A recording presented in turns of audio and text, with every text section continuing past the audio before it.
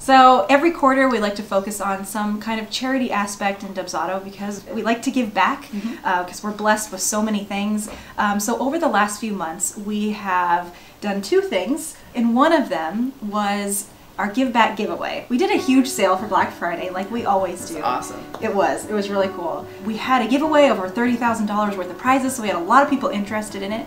But for every entry into this giveaway, Dubsado donated a dollar to St. Jude's Cancer Research Center. Yeah. All in all, when the sale was done, we had about $700 donated to St. Jude's Cancer Research Center. So thank you to you all. Dubsado people, for Thank that you. donation. That was awesome. Yeah. and then we decided, just as an office, we wanted to do something fun around um, the holidays.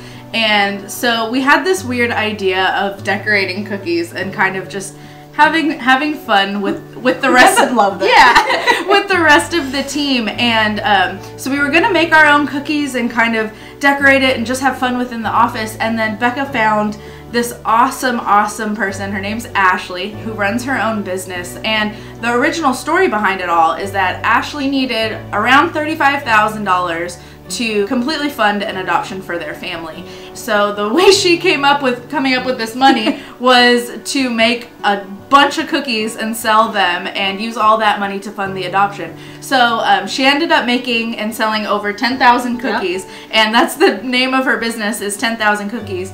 And so she fully funded her adoption and now is taking proceeds from the rest of her sales moving forward to help fund other people's adoptions for their families. So soon enough, Ashley and I were on the phone and she's the sweetest person ever and was- we got the ball rolling. It was a really fun process. Yeah. She made us all the cookies, she sent us all the icing, and all we had to do was sit down as a team and Decorate. just decorate our cookies. We had a blast doing it.